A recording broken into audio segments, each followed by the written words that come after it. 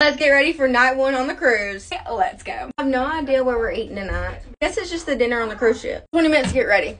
Spent the day in Charleston. I've not really gotten seasick or nauseous yet. I think it's because I have these bands on. On the boat at like 2 o'clock. I only made it to our room. Let me just show y'all. There's the ladders, and then we have our splendid beds going on. Very crammed. So Audrey is the bride, and her maid and matron of honor decorated her room. Turned out so cute, and she got us these bags. She's gonna show us what we got. So we got these cute little scout bags with our name on the front. The first thing we got is Looky! Pookie Pookie. These cute little trucker hats. They say Audrey's Bachelorette in the Bahamas. They're so cute. These cups with her little Bachelorette crest on it.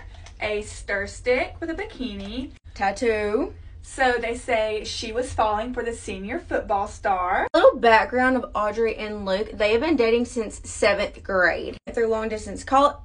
They went through